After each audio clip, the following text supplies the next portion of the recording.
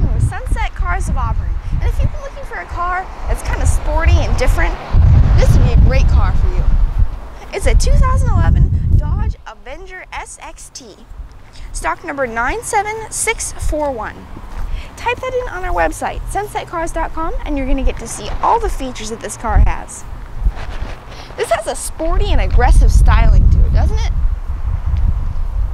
Shiny black paint, rear spoiler, dark tinted windows, dual chrome exhaust tips.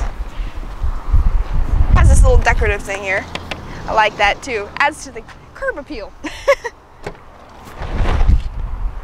and when you open the interior, it's black cloth, which I actually prefer to black leather. Black leather gets so hot in the sun.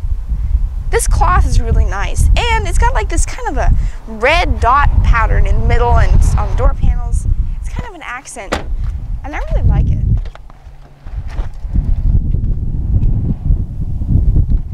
front here, you have a leather steering wheel and shift knob trim, which is nice. Feels good on your hand.